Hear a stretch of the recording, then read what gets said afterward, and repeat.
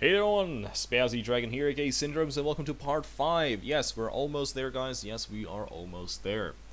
So, we found our embark site, and we can embark. Let's just quickly... Okay, small reminder, the only reason I have this on the screen right now is to show you what I would usually do on my keyboard. This is not how you play the game. You play the game with the regular keyboard. You do not need the on-screen keyboard for this, just in case, right? And all that th there is to do right now is press E for embark, and that's exactly what we're going to do. Boosh! Oh, I actually need to, sorry, there we go. You have selected an area with salt water. It's this over here. It might be very difficult to survive here. You've selected a civilization that is dead or dying, your dwarves might assume important positions. This is something that I really hoped I would not encounter on a tutorial video. Remember when I said the smaller your world is, the bigger the chance that the civilization you are trying to play might be dying? This is what I said. But it's okay. Let's go anyway, just for the sake of the tutorial. Okay, so in the second episode, I mentioned that there are many presets of how you can start the, you know, game itself. So these are the presets. But we are actually going to prepare carefully just so I can show you how the preparation itself works. If you're lazy and you already had it up to this, you can actually skip this episode and choose one of the, you know, either play now. Uh, you probably might as well just use play now. If you want, you can skip this uh, episode altogether. I do, however, suggest you watch it all the same. So for those who are with us right now, let's continue with the prepare for the journey uh, carefully. Now here is the moment. Um, bum, bum, bum, we start with seven dwarves. The game randomly generates the name, and it also shows you what exactly it has, right? So these are dwarves. We have Dayton Kaganost. We have Autumn Itanet, for example. So we start off with seven dwarves every single time. What we also have down here is 400 points. Now these are embark points. You can spend them on items, on skills, and on other sorts of stuff. Now, what skills are? Every dwarf can basically do anything in the game. You can simply tell him, hey, you're going to be a woodcutter now, right? And the guy's going to say, oh, okay, I'm going to be a woodcutter now. Now, the only thing is that every single talent a dwarf has has its own level, and if you place someone who has no idea what they're doing, they're going to be really bad at it until they learn how to, until they gain enough experience, until they learn how to do it. So this is why when you first embark, you have a chance to embark with people who actually are competent in their skills, and this is where these skill points are. You can distribute 10 skill points for every single of the 7 dwarfs you start off with. It's going to take from the points. The more skills you assign, the less points you will have, and the less stuff you can take. We're going to talk about items. You can actually switch between the dwarves and the items you can take with you uh, by pressing tab. But right now we're going to start off with the dwarves. So, for example, I want a dwarf who will be good at digging, because Dwarf Fortress involves a lot of digging. So, First of all, we are going to, right now we're navigating the dwarves themselves, right? In order to select which skill you want to make better, we're going to move to the right and then use the plus and the minus to change this. For example, right now he's not a miner. I'm going to play, uh, press plus once and make him into a novice miner. This is also going to consume one point uh, from the available points you can assign to a dwarf, and at the same time, over down here, it's going to take up whole five points from the overall ones. So obviously I can actually spend all of these points by maxing everything out, right?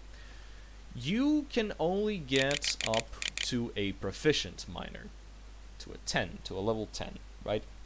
Now what this means is that uh, the, it, he's going to be a professional uh, he's going to be a proficient miner, but he can still learn to be a much better one, right?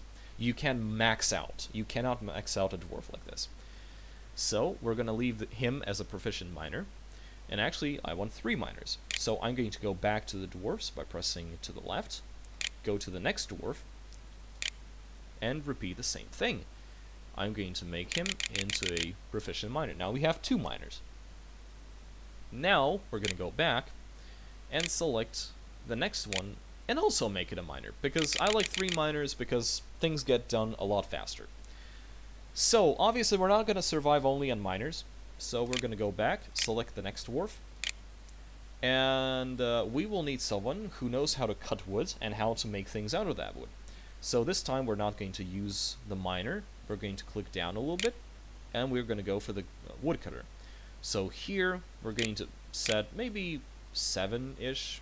I found myself that, you know, it doesn't matter how fast. You can actually put into uh, put in a 1, so he's just a woodcutter, a novice one, and then put the rest of it into being a good carpenter. So a carpenter is a dwarf who does stuff out of wood. So he can make beds, he can make tools, he can make figurines, and well, sorry, not not figurines, sorry, um, tools out of uh, you know he can make stuff out of uh, wood.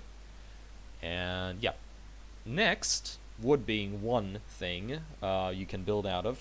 Then there's stone. So we're gonna go back to the dwarfs. We're gonna select the next one and we're going to make sure that he is a good mason. A, a mason is a dwarf who works with stone, so he's going to be a proficient mason.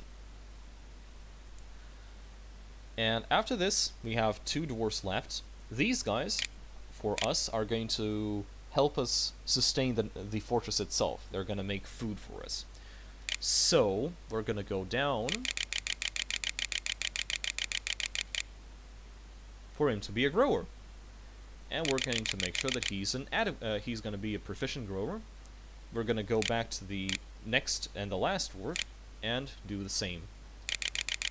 So we have two farmers who are going to be, you know, sustaining the uh, fortress itself.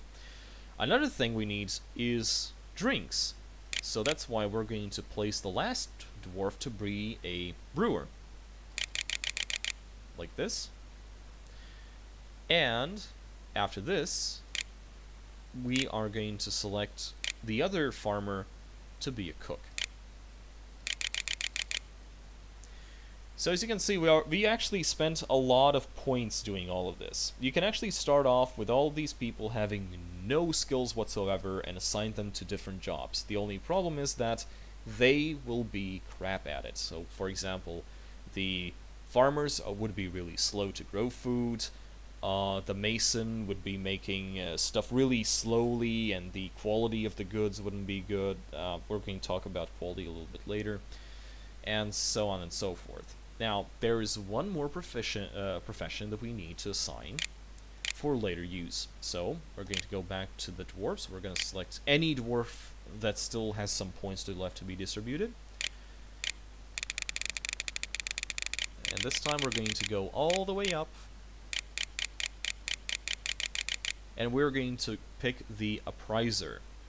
Now, there is trade in the game, and you need an appraiser to calculate the worth of your produced goods. All you need is one. That's it. That leaves us with 75 points. So what we're going to do now, we are going to press tab and switch to the items. As you can see, we've prepared everything we need over here. So we have seven dwarfs, three of them miners, one of them is going to be working with wood, one of them is going to be working with stone, and two of them are going to be our cook, our brewer, and farmer. Time to go to the items. They're going to go here. On the left, you have all the stuff you currently have with us, and actually we have a lot of stuff that we don't need. That is going to take up a lot of stuff. So for example, we don't need a step ladder. You can change the amount of stuff you bring with you by pressing plus and minus again. So we don't want a step ladder, there's only one of them. As you can see, we have three crutches. Over here it says three. It means that we have three crutches. So we have only one because there is no number after this. We don't want this. So we're going to select it and press minus. It's going to remove us, uh, remove the stuff from here, and it's going to give us points back. We don't need a wheelbarrow. We can make them one on our own. Crutches are for injured dwarfs, so is for splints. A bu bucket is always something you need. We don't have any dwarfs who use crossbows or, um, you know, uh, bows, so we don't need the quivers. It, they're currently taking up, there are three of them. Uh, each of them are taking 10 points, so that's 30 points back. Ropes are good, bags are good, cloth is good. Plump helmets are a type of food. They're basically mushrooms. Each of them are 4 points, so they're actually taking a lot, but that's food. We need food. Until we can get a farm of our own up, we're going to be eating this. Uh, cave lobster, also food. Prepared uh, intestines, 15 of them, also food. Spawns. Dimple cup spawn. A spawn is basically seeds. Uh, for regular fruits and uh, vegetables, you get seeds. For uh, mushrooms, you get spawns. It's basically the same thing. So we have five spawns of that, but we're going to, we're not going to use dimple cups because uh, you cannot grow them all the time. Rock nuts is uh, also something to uh, plant, although it's basically topside. Sweet pod seeds, again, it's a uh, type of seed that we're not going to grow for now. We can get some points back from here. Cave wheat, also something we can grow, but we don't need right now. Pigtails, uh, something you can grow for making um, clothes out of, so we don't need that for now. Plump helmets. So plump helmets are actually the main source that we're going to use for now because this is the type of fungi that you can grow all year round. So this is where our points are going to go in. Let's take 30 of these. We're not going to run out. Then you have rum. You have a lot of rum. Dwarves survive on alcohol. The only time when they uh, drink water is when they're injured. So every time a dwarf drinks, and dwarf drinks more, uh, uh, dwarfs drink more than they eat. So you always need to have more, um, you know, more drinks than you need food. So you have both rum and ale. Because they like variety. They're actually going to complain if they don't have enough varied type of goods, right? We're going to also go with an anvil, because an anvil is needed to then create metal metal goods later on, although it does take up 100 points. You can actually remove it if you want, but that's not the case. Um, copper battle axes are used as weapons, but they're also used to chop down trees. Now, as you remember, over here, we only have one person who's actually using, um, you know, who's who's used to wood, wood crafting and chopping down trees. So we don't actually need two of these axes. So we're going to take one back, and we're going to get back 68 points. See, we already have two, 268 points back just by going through this list and moving, like, we're removing all the unneeded stuff right now. But, as you can see, we only have two copper picks, and as you remember, we actually have three miners. So, we're going to add one of these. Now then, here comes the fun part. This section is for animals. This section is for physical items. So we're going to move over here, and we can see all the things we have. You have uh, bulls, you have cows, you have cats, uh, dogs, donkeys, lambs, piglets, boars. Every single animal has its own uses. You can breed them for meat, you can breed them for leather, uh, you can breed them for war training, and that is exactly what we're going to do we are going to embark with a few dogs. See, these are female dogs, as you can see over here. We're going to have eight female dogs. And in order to make sure that these dogs breed, we are going to take two males with us, two male dogs, and that brings us down to 64 points. These things are actually very expensive. After that, we need a cat. The reason why we need a cat is because cats catch vermin, and the place where we're going to embark, at some point our, our fortress itself is going to end up with vermin. So we will need a cat to actually catch them. Boom. Now we have uh, 53 points. We can um, we can place these points into something we already have. If you want to actually look at things, I'm not going to actually see it. You can press N, and uh, you can select from many types of stuff that you can bring along. So, for example, you have uh, meat, you have fish, you have eggs, garden vegetables. You have you can bring more seeds with. You can bring other types of drinks with you. You can bring actually weapons with you if you want. Although weapons really do take up a lot of um, you know points.